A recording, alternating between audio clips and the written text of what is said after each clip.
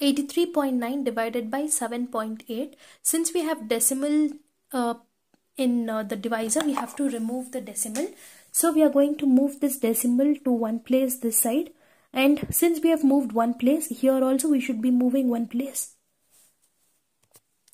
So the new question formed is 839 divided by 78 now we can take 839 here.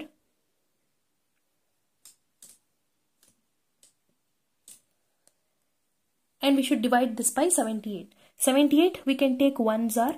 So here uh, ones tens hundreds place. One tens hundreds place. Since I'm taking two numbers I'm going to start with tens place here. So it is 78 ones are 78 now it is 59. But 59 is smaller than 78.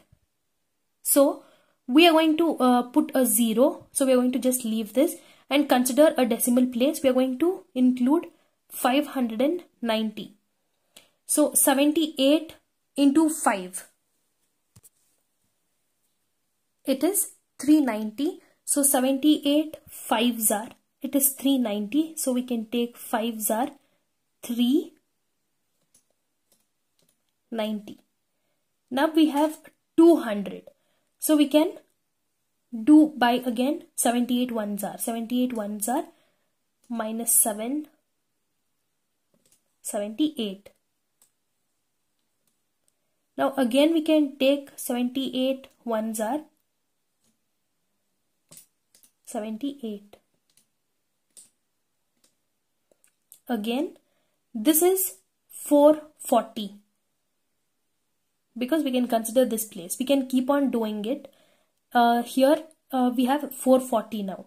So again uh, 78 fives are 390 so if you don't want to leave it for two decimal places you can still continue this by putting this 5 here and considering it as 500 then again take 5s are 390 and keep on doing the division.